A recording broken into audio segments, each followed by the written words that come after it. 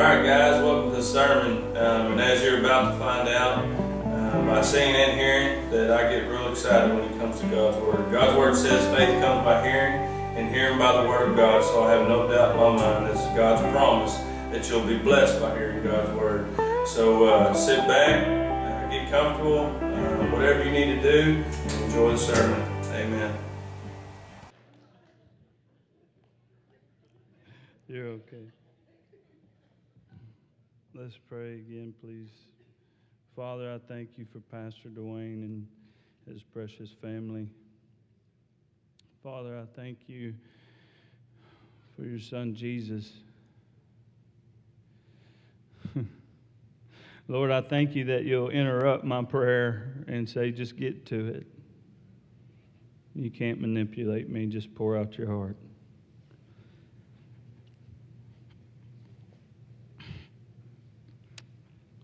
Lord, there's a part of me that wants to hide from you because I don't like certain things to be revealed. It's easier just to ignore you or run from you or hide from you. And Lord, even in the very thought, I know that's impossible. Just as when you walked through the garden with Adam and Eve and you asked him questions you already knew the answer to. You just desire us to confess and pour our hearts out to you. So, Father, I ask that you kill that very part of my flesh that wants to hide from you. Lord, I pray that you kill that part of the church that wants to resist you so that your Holy Spirit can reign. You're a glorious King, and we bow before you today and with a humble heart. Father, I pray that you anoint this message because I believe it did come from you. And you help me not be a big old chicken and just say it exactly how it came to me. We love you, Lord, and we ask this in Jesus' name. Amen. Amen.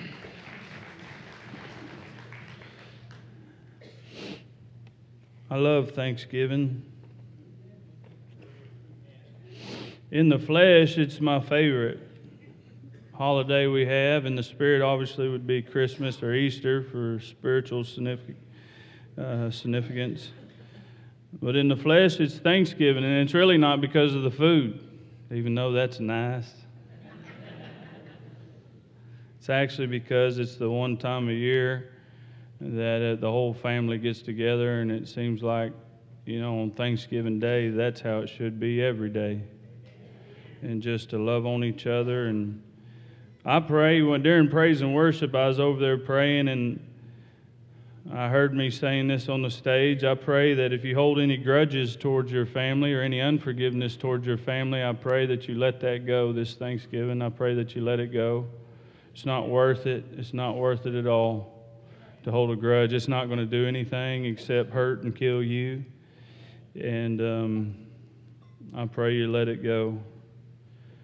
Um, but uh, during Thanksgiving, the reason why I love it so much is because it does bring our family together, and there is that food part. I know everybody's probably mouth will start watering before I get done with the first part of this. But the dressing, the turkey, the ham, I'm a big ham fan. And everybody say pie. That's right accent on the I. The peace that's in the house. You want to say pie again? Everybody seems relaxed and like this. They feel, they seem joyful. And um, again, it's a few times a year that the family comes together and uh, his actual family. And then and then, you know, you get tormented the first couple hours because you stand around talking while you're smelling it. And if you're like me, you sneak off to the kitchen, get your hands slapped. Come on. And uh, it's just a, I don't know, I just, every time it comes around Thanksgiving, I just calm down and I, I thank God for my family. I have a, a deep appreciation and a huge gratitude towards the, the men in my family. It helps me uh, have a, a deeper respect for them.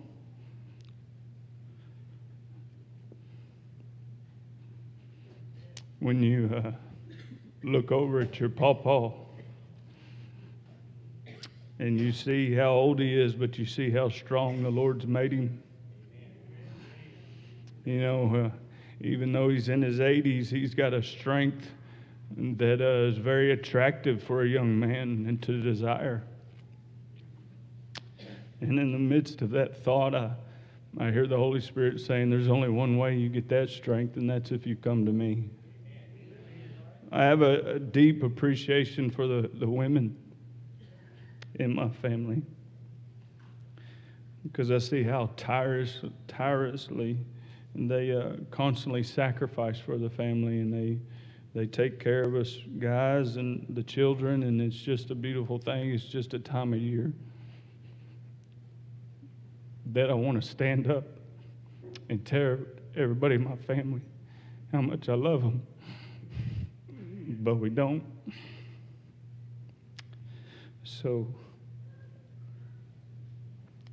thanksgiving is huge to me it, uh, you know, the more you experience death, the more you'll appreciate life. The more you go without, the more you'll be so grateful when you have.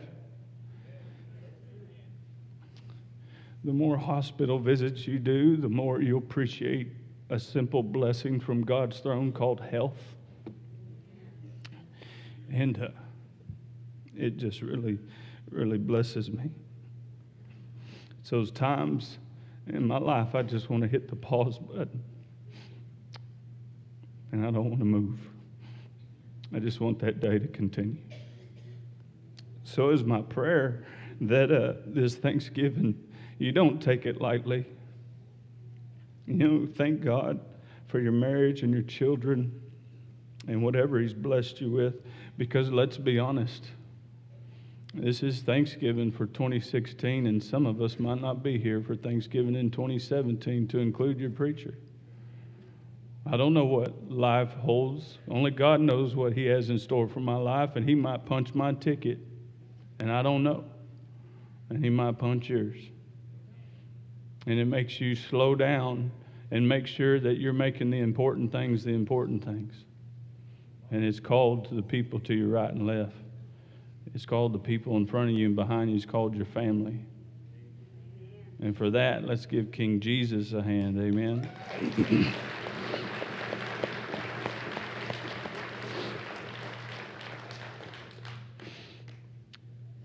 I, uh, I remember uh, every year, uh, you can tell when my mom and the, and the ladies in the kitchen are getting everything wound up, ready to eat, and then usually one of the older ladies of our family will ask one of the older men in our family to say grace.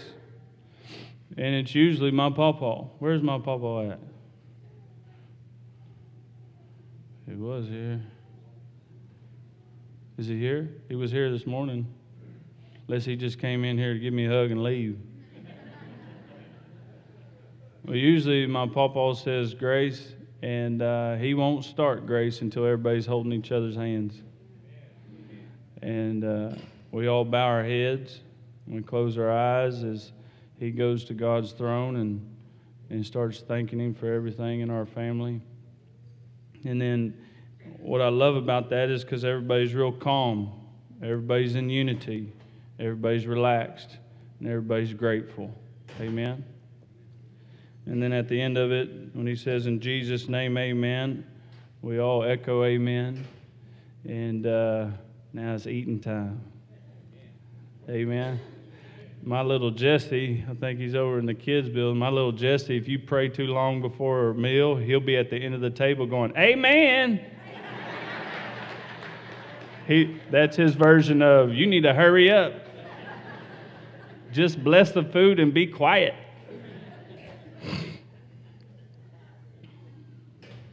So, anyway, then we usually let the ladies, usually we do we let the ladies go first, and uh, they get the plates for, for the kiddos. And we want to honor our ladies by letting them go first. And then the, the, the immediate blessing from honoring the ladies is when the guys go through, you get to empty out the dish and not feel bad about doing it. Amen. Maybe it's just me.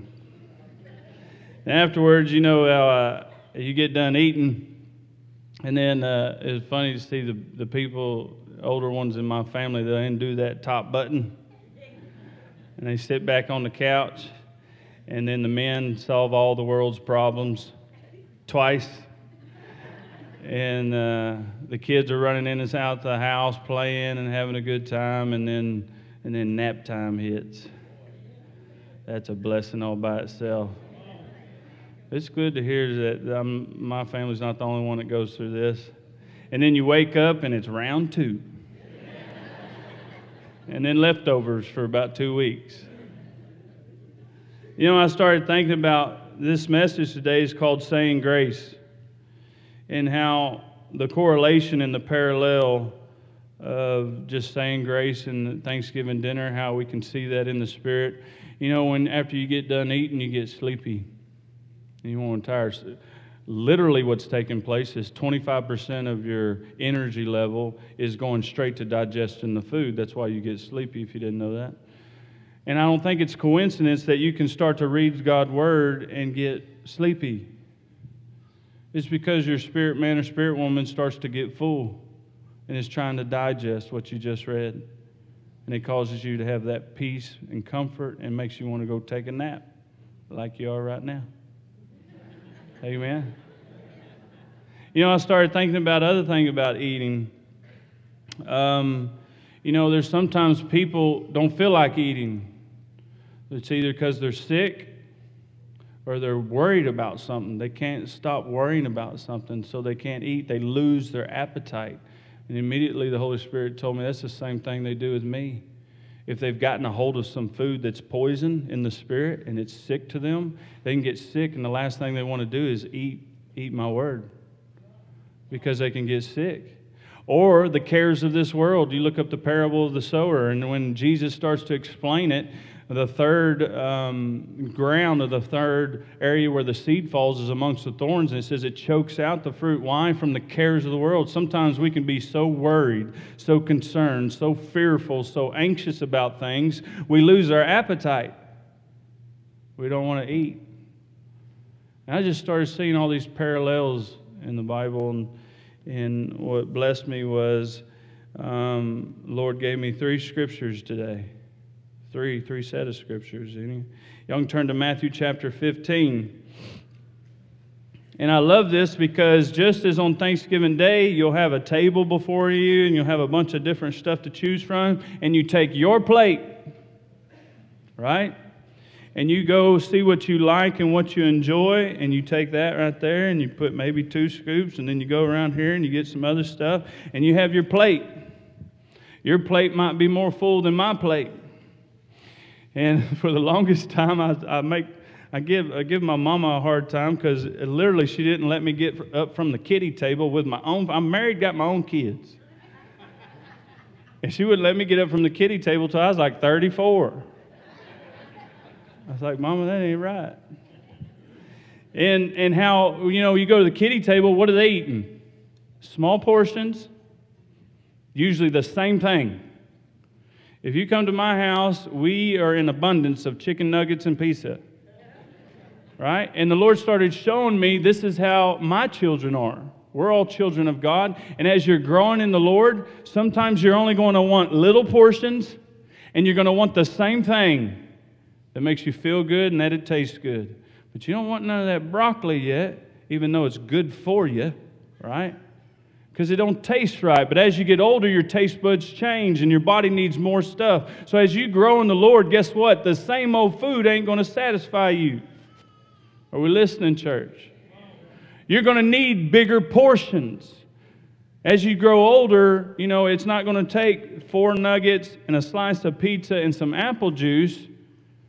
You know, as, as Jesse gets older, he's probably going to eat two or three steaks And as we get older, we wonder why I keep going back to the Word or I keep going to church and it's not as fulfilling to me anymore. And we don't realize that God is just answering your prayers and allowing you to grow up and to mature in the Lord. And now you're going to need bigger portions. Now you're going to need to branch off and see what that broccoli is all about. Amen? Because it's going to bless you, it's going to make you stronger. Amen? So, Matthew chapter 15, starting at verse 1, we'll go to 20. I have a dish. Y'all ready? I have a bowl of food prepared for y'all in Jesus' name. One's from Matthew, one's from Paul, and one's from Peter. And then we're going to have a little bit of dessert and we're going to end the service. Amen? Amen? Amen? Some of are like, just keep talking. Matthew chapter 15, starting at verse 1, says, Defilement comes from within. One of the things that you will hear in our house, probably from one of the older women, right before you eat, is go wash your hands. Right? Go wash your hands. So when Thanksgiving comes around or when dinner comes around, I think about this scripture right here. Matthew chapter 15, verses 1, it says, Defilement comes from within. Then the scribes and the Pharisees who were from Jerusalem came to Jesus, saying, Why do your disciples transgress the tradition of the elders? For they do not wash their hands when they eat bread. And he answered and said to them, Why do you also transgress commandment of God because of your tradition? You know one thing about Jesus? When you go to Jesus say, What about them? You know what his first response is? What about you? Amen? I love that about Jesus. Verse 4 For God commanded, saying, Honor your father and your mother, and he who curses father or mother, let him be put to death. But you say, Whoever says to his father or mother, Whatever profit you might have received from me is a gift to God, then he need not honor his father or mother. Thus you have made the commandment of God of no effect by your tradition. Real quick, many families will do traditional things around Thanksgiving. But God's word is saying, don't let your tradition violate what God wants you to do. And if it's not your tradition in your family to say grace, I pray you start it this year. Amen. I pray you start um, similar to our family, that nobody prays until somebody is touching somebody. You're holding hands. We're going to be in one in unity. And I pray that comes from a man and not a woman. And let me say why. Because men, we need to lead our families. Amen. Verse 7, he said, hypocrites! Exclamation point. Well, did Isaiah prophesy about you saying, These people draw near to me with their mouth and honor me with their lips, but their heart is from, far from me. And they were singing that song this morning, Here's My Heart, Lord. Amen. That's why I got down on my knees right there and prayed that. You want to know if you're pouring out your heart to God? You want to know when you're really not holding back and you're telling him the truth? It will affect you. You won't want to say it, but you'll know you need to say it. And I don't want to say that in front of y'all up here. That's a private bedroom prayer. But I know I needed to say it before I got right up here. And, and, this is God's version. Let me read it again. It says, These people draw near to me with their mouth and honor me with their lips, but their heart is far from me. You know what, that, what that's translated in? Lip service. Amen? Lip service. Are we talking trash to the throne of God? Or do we really mean what we're saying? Amen? I love that. Verse 9, it says, And in vain they worship me. As soon as I read that the first time, I stepped back and I went, There's a, there's a quote, uh, I'm about rabbit trail. Here you go. Um, I remember a quote from a movie a long time ago. I was watching it and it just stuck in my head, and the Lord brought it back to my remembrance. Says, When you have gone crazy, do you realize you went crazy? Does a crazy person, person sit back and go, Man, I've lost my mind? Do they do that? Do they really realize they're crazy, or is it just to them they're normal? I'm like, what's your point? When I'm worshiping God in vain, do I realize I'm doing it? You know what, to me, that topic is so important, I don't even want to take the chance. So that's why I went to the Lord and I said, Lord, am I one of these people who raised my hand to you and I really don't want to?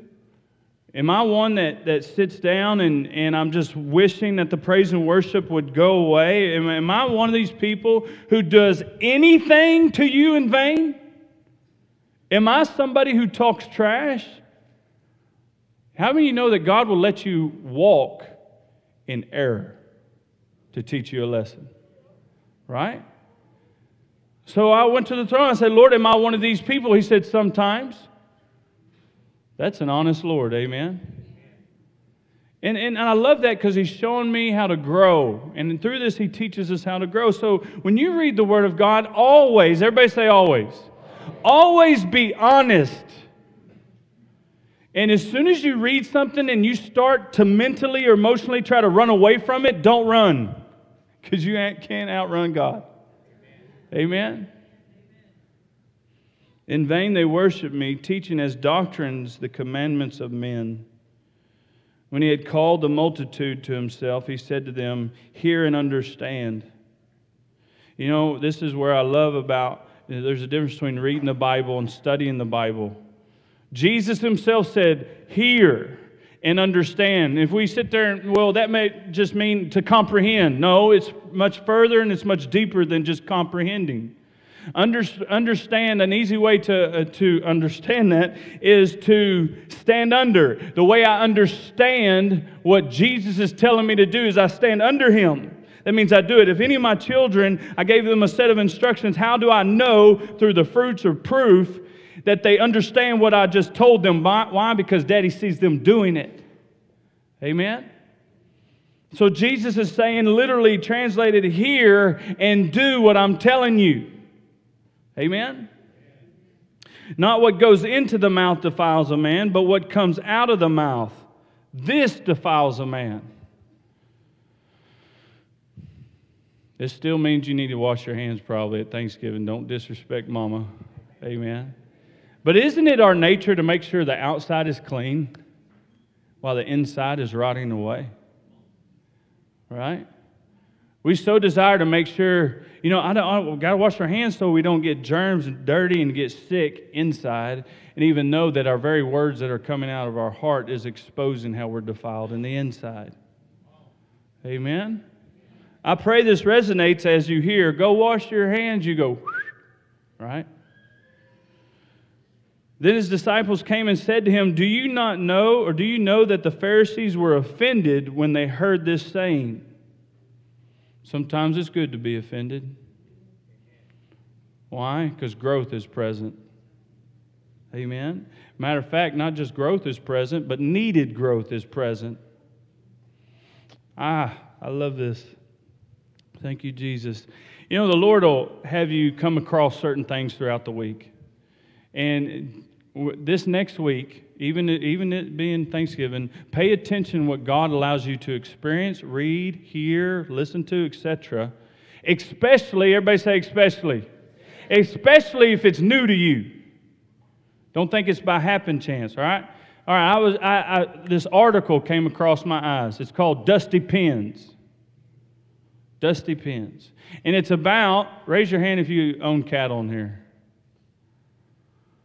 Okay. I said it first service, I'll say it again. If I say anything wrong up here, inaccurate, and it's not correct, you're not going to embarrass me, just correct me. It's called Dusty Pens. And what it is talking about is weaning calves off the milk. And when you separate the calves from the cow, it says that it's not only just stressful for the calf, it's as stressful for the cow, especially if it's a first time um, cow, first time mama. And if you put them close to each other, these calves, if they're not babysit, they don't have any other cows in there to babysit, they're, they're going to run around and kick up the dust in the pens, and then they can get lung issues and respiratory issues, and now you can have sick calves. And now you're stressing out mom cows, and especially they're going to test your fence. Matter of fact, you need to keep them outside of each other, all this stuff. Well, I got to thinking while I'm reading this, I go, well, how'd they do it in the wild? Didn't realize that if I read further, the article was going to answer that. Because man inserts themselves, because we work with a lot bigger numbers, we got to handle this now. So they separate the calves from the cows, so have the weaning process, so they'll get off the milk and they can start eating the grass and everything else that the cows and the bulls eat. Right? Am I so good so far? Okay. So I started wondering, well, how'd they do that in the wild before man became involved in it? You know how they do it? How does a cow wean her calf off the milk if there's um, no man involved? Cattlemen, feel free to answer. Nobody answered the first service, by the way. Huh? Uh, kick them off. That's right. So I'm sitting there listening to I'm reading this, and I'm going, wow. And I found out why the cow will kick off her calf off the milk. Because mama's pregnant again and don't want the calf, the old calf, to be drinking the milk that's being prepared for this next calf. Mama will literally go from, you can have some of this milk, to, that's enough. right? Okay. Y'all ready for this? There comes a time in your Christian walk that you've been on milk, and God is gracious. He is gracious. He will let you drink that milk until He's wanting to birth something new. And if He's wanting to birth something new in you, it will be fairly hard to take at first when God goes, get off the milk. Now you're going to start eating everything the big people eat. Amen? That's essentially what's happening right here. God is telling the Pharisees and Sadducees, look, you're not getting it. And sometimes Jesus would verbally kick them. Amen? All right. But he answered and said, Every plant which my heavenly Father has not planted will be uprooted.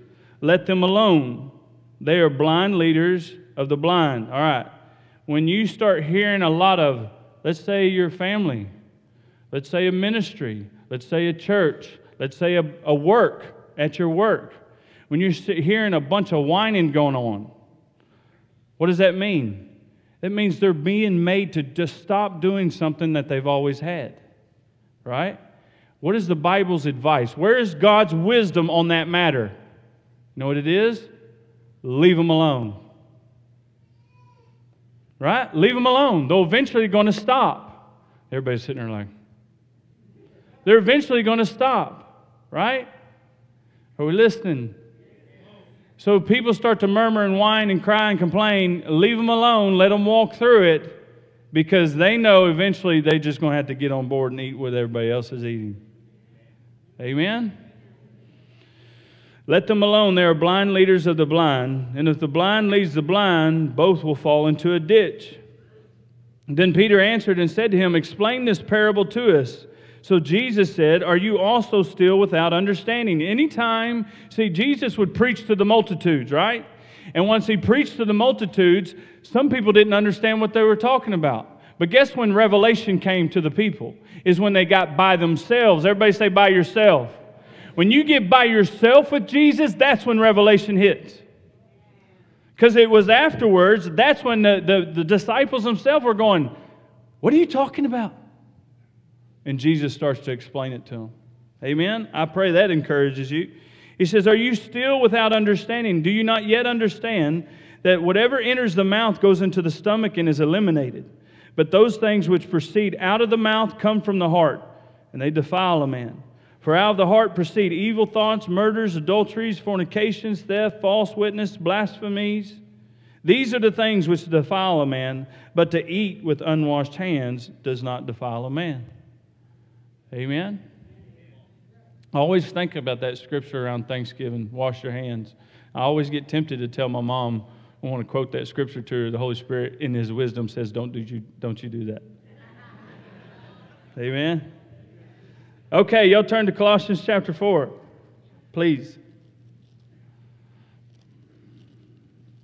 Thanksgiving scriptures. Lord, help me. When you put your spoonfuls on your plate, sometimes you get to a dish you like more and you'll you put more of it on there, right? Right? And then sometimes you'll just put a little bit. You're like, I don't want too much of that, but I know I need it, so I'll just get it, say I had it, right? All right. Colossians chapter 4, verses 2 through 6. Little scoop. Subtitle says Christian Graces, saying grace. Verse 2 says, Continue earnestly in prayer. Everybody say prayer. prayer.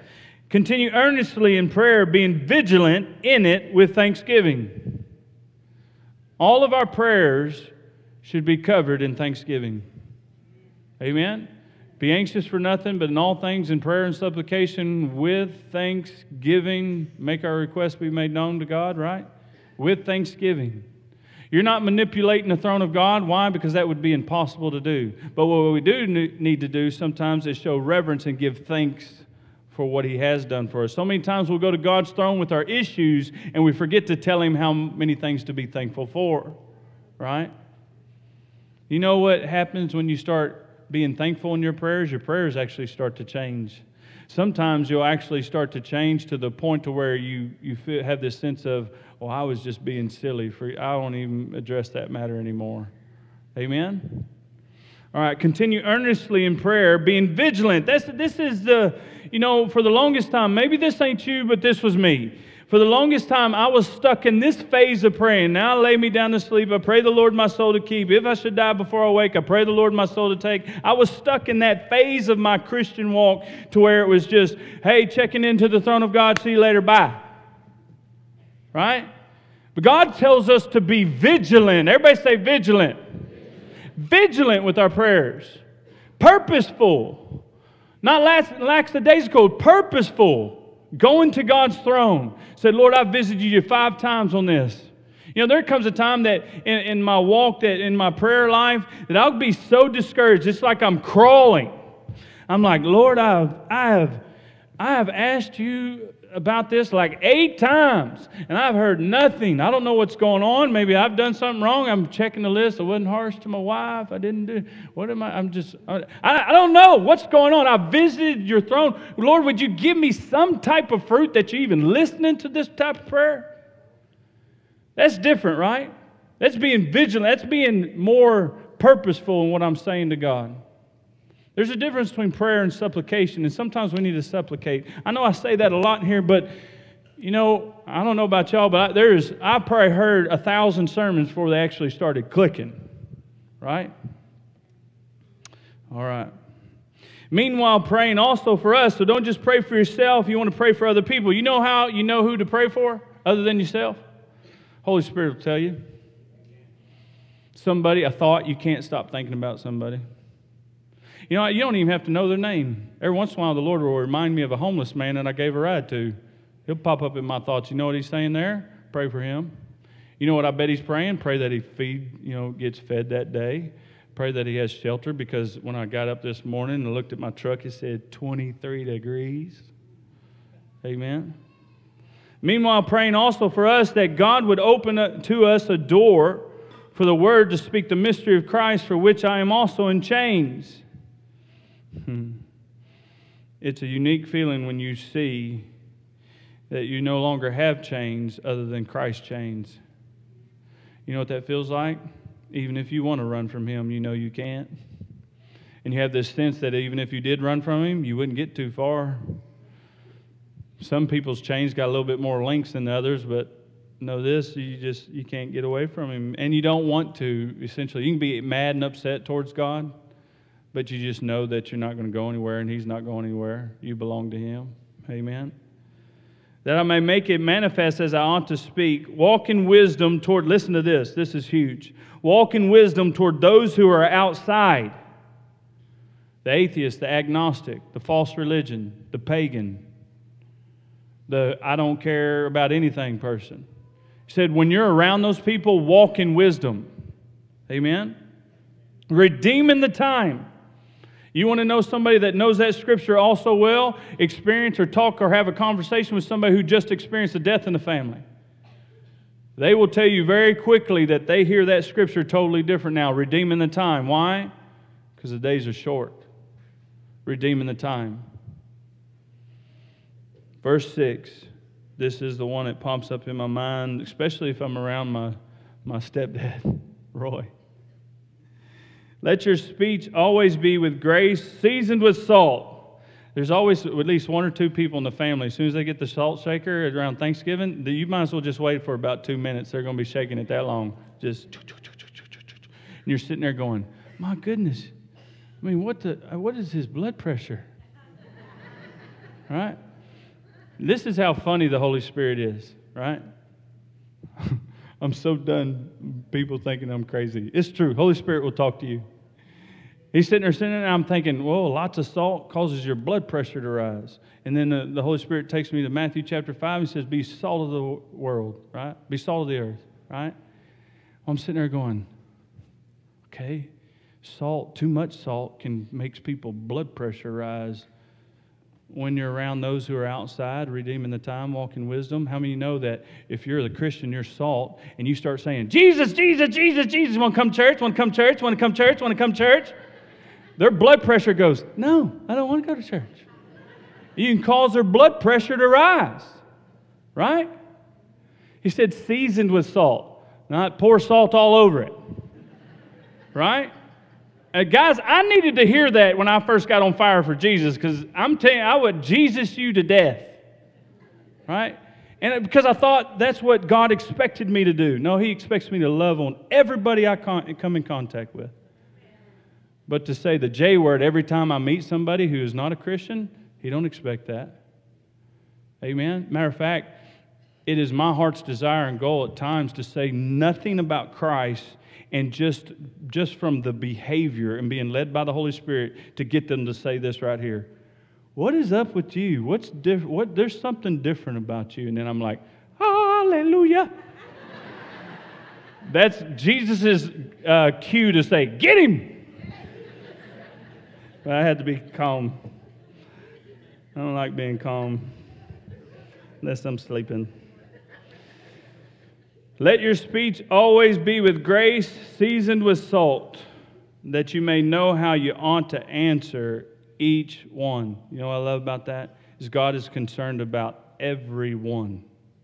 Not just a group, but everyone. How to answer each one. Doesn't matter if I'm talking to an 11 year old boy or if I'm talking to a 98 year old man. Doesn't matter if I'm talking to uh, here you go, a paganistic devil worshiper in witchcraft, or if I'm talking to a pastor of a church, it doesn't matter. How God wants me to be wise in Him, and how should I answer and speak to every one of them? You know why? Because He died for every one of them and he loves every one of them, and he wants all of them to be saved. That's the only reason he ain't come back yet. He said he did not tarry, but he wished that all men, everybody say all men, all men would re- repent and turn to his son, Jesus Christ. That's why he says to each one. Y'all turn to 2 Peter, please.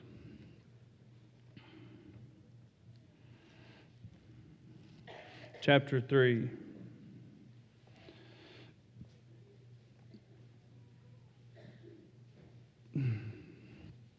I literally, first service, I saw this right here. I saw my Bible right there. And then I saw a table with a bunch of food on it. And I saw people with their plate putting the scoops of the food that they want on there. Right? And then they go somewhere, sit down, and they eat. And then I saw the Bible over here and I saw 66 bowls. There's 66 books of the Bible. And I saw 66 bowls. And I saw each individual Christian coming over and turning the pages and going, I'll take some of that. I'll take some of that. Ooh, I like that. I'm going to get a bunch of that. And I saw them sitting down and reading it and pondering and praying to the Lord as they ate God's word. Right? And know this some people, eat a little bit. Some people eat a whole bunch and go back and get seconds, right? That stuff helps me when I see the Lord do that. It makes it simple for me to understand. 2 Peter chapter 3, starting verse 14. saying grace. Not just saying grace, but hearing grace and receiving grace. Subtitle says, Be steadfast. Therefore, beloved, looking forward to these things, be diligent. There's that another strong word there. Be diligent to be found by him in peace. That's a, often a, a, a reminder to me when I start to get fired up, mean or rude or harsh, or my get you button is in full effect. Um, the Holy Spirit will remind me sometimes if I came back right now, would you be pleased? I was like, man. Without spot and blameless, and consider that the long suffering of our Lord is salvation, as also our beloved brother Paul, according to the wisdom given to him, has written to you. So the Apostle Peter is talking about the Apostle Paul, as also in all his epistles, speaking in them of th- these things, in which are some things hard to understand. Did y'all hear that? Raise your hand if you've ever felt bad or stupid when you read God's word and didn't understand it. Amen. Okay. You have the Apostle Peter writing his letter to the church, talking about the Apostle Paul when he wrote his letters to the church. And the Apostle Peter, who was filled with the Holy Spirit, so much so that this man, when they heard he was coming to town, they would lay the sick out into the street. And as his shadow passed by these sick people, they immediately be healed. He was so full of the Holy Spirit, his shadow was full of the Holy Spirit. So you have the Apostle Peter talking about in his letter to the church about when Paul, the Apostle Paul, writes his letter to the church. Peter says, Sometimes I don't know what Paul's talking about. That set two people free in here. That set me free that sometimes you just don't understand and you need to go to God's throne and ask Him for understanding. If you base your entire understanding on the Bible off your intellect, your ability to learn, or you're a class, uh, you know, a straight A type of person or student, or you're just a brilliant mind, know that your carnal mind cannot understand a spiritual matter ever. But it blessed me to know that the Apostle Paul, now that doesn't give me an, an excuse to disregard it and not try to understand it. But the Apostle Peter said there's times that I read the letters that Paul wrote and I don't understand it. Amen? Which untaught and unstable people twist to their own destruction, as they do also the rest of the Scriptures. You, therefore, beloved, since you know this beforehand, beware lest you also fall from your own steadfastness. If the Bible says it, that means it's possible. Is it, can you ever remember a time in your Christian walk that you were solid, that you were steadfast, and immovable, always abounding in the Lord? Can you ever remember a time that you're like that and something happened and it shook you and now you're not as steadfast as you used to be? Right? Maybe it's because we don't really understand what happened or why it happened. Go to God's throne, He'll bring that steadfastness back. Guys, it is getting more and more evident to me that we need to be in here every day. Not to be good boys and good girls either, but to learn how to survive and be strong. Has nothing to do with legalism and you ought to do this and why ain't you been doing that? Has nothing to do that to do with that. Has everything to do that we need this so much, especially in this day and age, just to be able to survive. Amen. You, therefore, beloved, since you know this beforehand, beware lest you also fall from your own steadfastness, being led away with the error of the wicked. I pray in Jesus' name, if you ever see me up here teaching in error, y'all, everybody look up here right now, please. I need this in my life. If you ever see me up here teaching in error and you know I'm in error, you have an obligation to come, te- to come tell me what I did wrong. Show me in Scripture. The reason why I say that is because we need to get used to, we need to get in a pattern in our life that we don't just listen to somebody up front just because they're throwing a message out, just because they're loud or passionate. It doesn't matter. If it doesn't line up with the Word of God, I need it. Everybody say, need. I need to be corrected by you in that very moment. Amen? And the same for y'all. We all should be willing to be corrected by the Word of God. Because if we get outside of that and we get too proud and haughty and like, you ain't going to tell me nothing, guess what? You need to sit down. Because that has no business being in front of nobody teaching anything. Amen? Okay. Verse 18, but grow in grace. As you sit down this Thanksgiving dinner, I pray you think about this. Has God grown you this past year? Has He grown you? Are you more gracious this year than you were last year? Am I wearing y'all out today? But grow in grace and knowledge of our Lord and Savior Jesus Christ. To him be the glory both now and forever. Amen. Amen. Ben, you come back up here, please. There's some people right now be like, What? That's it? Now listen, and some are like, Whew, thank you. It's the same when you sit down and eat Thanksgiving dinner. If I fixed you a plate right now, I fixed any of you a plate right now, and I put three scoops of something on your plate, and I brought it to you, you'd look at me like, Really? See how big I am? I need more food than that. Right? Well, as I was thinking about this, saying three set of scriptures and we're done, I started thinking about this. Lord, that's too short. He says, not just Thanksgiving, y'all listen to this. Not just Thanksgiving, but every day I prepare a banquet table before them with 66 bowls. And at any time they can come in and eat with me and I with them. He said, Behold, I stand at the door and knock, and if you let me in, I'll come in and sup with you and you with me. So if three scoops wasn't enough for you today, guess what? Go back and get more. Amen? Amen. Now, the reason, another reason why I invited the band up here now is because I want them to play at least two songs before you leave. The reason being is because it is my opinion that praise and worship is dessert and it blesses us. So, could we all stand?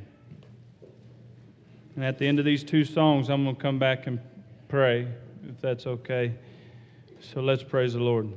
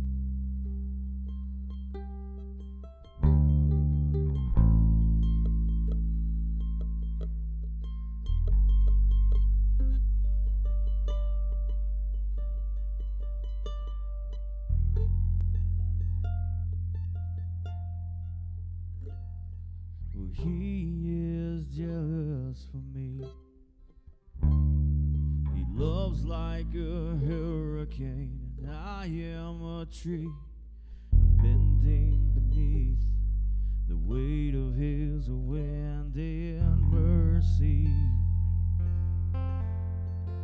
And all of a sudden,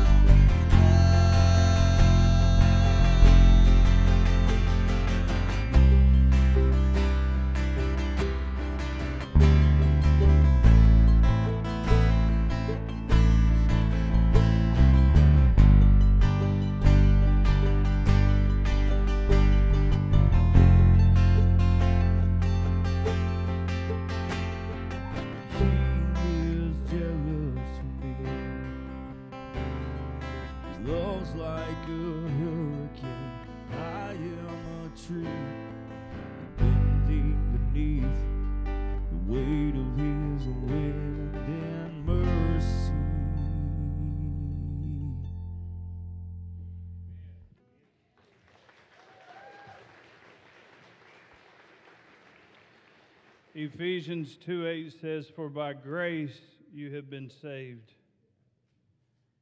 through faith and not of yourselves. It is the gift of God. All our lives we've heard people say grace, but have you received grace? Have you received salvation? And if you haven't, you can today. It's very easy.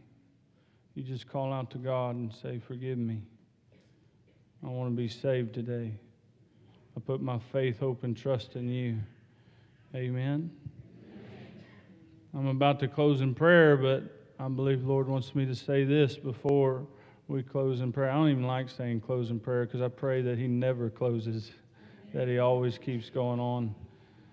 But is there anybody in your life that you can show grace to a lot more? Is there anybody in your life you need to show grace more? Anybody?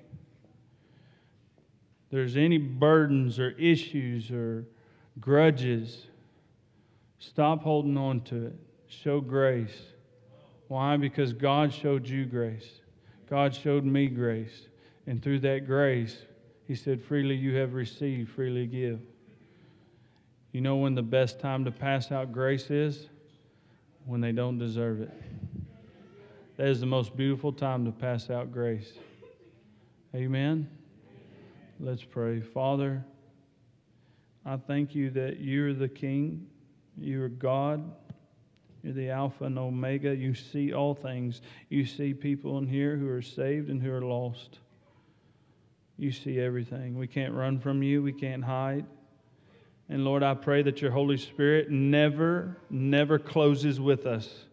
That it always, even maybe even sometimes intensifies as they leave the doors.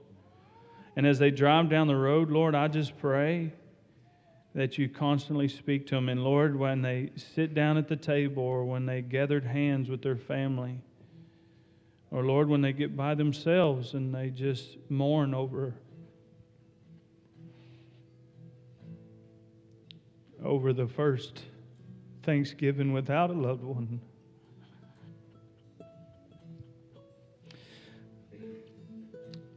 Oh, how we need you so much. Father, bless every one of them. Bless them.